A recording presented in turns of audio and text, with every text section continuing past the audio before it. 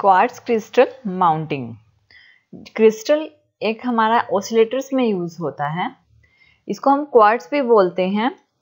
इसका जो हमारा क्रिस्टल होता है, वो कैसे माउंट होता है, बना कैसे होता है? जो हमारा क्रिस्टल जो हमारा क्रिस्टल होता है, इसकी हाई डिग्री स्टेबिलिटी होती है, जिसका यूज़ ओसिलेटर्स में, कम्युनिकेशन ट्रांसमिशन में, रिसीवर्स में और डिजिटल क्लॉक्स में किया जाता है। इसकी प्रॉपर्टी होती है प्रीजो इलेक्ट्रिक इफ़ेक्ट की। और ये जो क्रिस्टल होता है, ये माउंट होता है टू मेटल प्लेट्स के बीच में। जैसे ये हमारा क्रिस्टल है और ये माउंट है टू मेटल प्लेट्स के बीच में। ये जो प्लेट्स हैं, ये मेटल की हैं और ये हमारा बीच में क्रिस्टल है।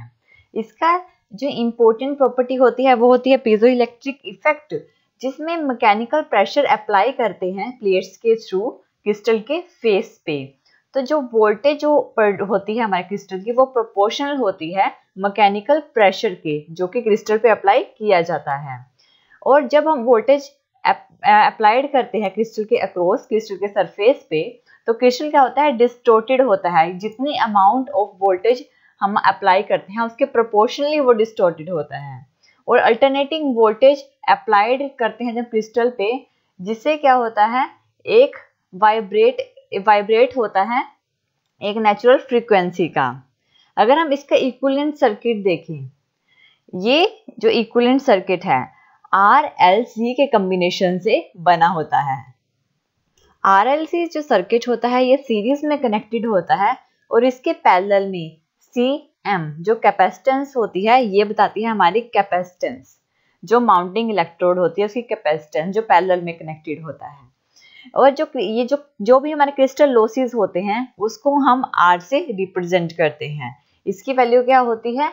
स्मॉल होती है। ये इसका रेजोनेंट सर्किट है, जो कि यार इसके अपर और लोअर डायरेक्शन में क्या होती है? प्लेट्स जैसे कि ये हमारा क्रिस्टल है, जो कि ये चीज़ शो कर रहा है आर और सी का कॉम्बिनेशन और इसके ऊपर लोअर डायरेक्शन में प्लेट्स होंगी। जो क्रिस्टल माउंटिंग होती है, जो क्रिस्टल है, ये जो हमारा क्रिस्टल है, इसको हम टू टाइप से कनेक्ट कर सकते हैं अपने ओसिलेटर में। एक होता है सीरीज़ कनेक्शन एक होता है पैरेलल कनेक्शन और इसका जो ग्राफ होता है, वो ड्रॉ किया जाता है इम्पीडेंस और फ्रिक्वेंसी के बीच में। इसका ग्राफ जब हम सीरीज़ में कनेक्ट करते हैं तो ग्राफ डाउनवर्ड डायरेक्शन में शो करता है। इसकी जो सीरीज़ रेजोनेंट फ्रिक्वेंसी है, जब हमारा क्रिस्टल सीरीज़ में कनेक्टेड होगा और उसकी जो सीरीज़ रेजोनेंट फ्रिक्वेंसी होगी जिसको एफ़ एस से डिनोट किया गया है। वो ये एफ़ एस की रेजोनेंट फ्रिक्वेंसी शो कर रहा है और इस टाइम पे जो इम्पिडेंस होगा, वो होगा, इसलिए जो इम्पिडेंस होता है, यहाँ पे सबसे स्मॉल होता है। जब क्रिस्टल सीरीज़ में कनेक्टेड होता है तो इम्पिडेंस स्मॉल होता है। और उस टाइम पे जो सीरीज़ रेजोनेंट फ्रिक्वेंसी होती है, वो इज़ इक्वल टू होती है one upon two pi root of L के अगर क्रिस्टल पैरेलल में कनेक्ट है उस टाइम पे क्या होगा? उस टाइम पे ग्राफ अपवर्ड डायरेक्शन में होगा, कुछ इस तरह से। और उस टाइम पे जो सीरीज़ जो हमारी पैरेलल रेजोनेंस फ्रीक्वेंसी है, जिसको एफ़ पी से डिनोट किया गया है, ये पीक तक, इस टाइम पे इम्पिडेंस सबसे ज़्यादा होता है। इस तरह से अगर हम इम्पिडेंस कम चाहिए तो हमें क्रिस्टल को सीरीज़ में कनेक्ट करते हैं। अगर इम्पिडेंस ज़्यादा चाहिए तो क्रिस्टल को पैरेलल में कनेक्ट करते हैं। और उस टाइम पे जो पैरेलल रेजोनेंस फ्रीक्वेंसी होती है वो होती है one upon two pi root of one plus C upon C M upon L C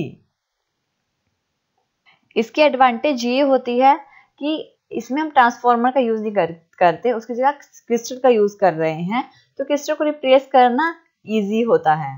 और इसकी डिसएडवांटेज ये होती है कि ये क्या होता है लो फ्रिक्वेंसी सर्किट्स के लिए ही वर्क करता है। और इसमें वो जो रेंज होती है, वो पर्टिकुलर होती है जो 100 किलो हर्स की होती है। इसलिए इसे लो पावर सर्किट्स के लिए यूज़ किया जाता है।